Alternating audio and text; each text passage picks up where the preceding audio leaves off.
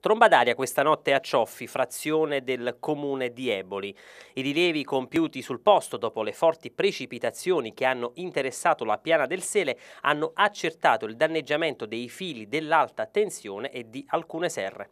A recarsi sul posto il consigliere delegato alla sicurezza Giuseppe Labrocca ed i vigili del fuoco, per un sopralluogo volto a verificare le reali condizioni dell'area.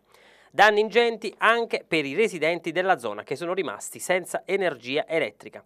Immediato l'avvio dei lavori per il ripristino dei guasti.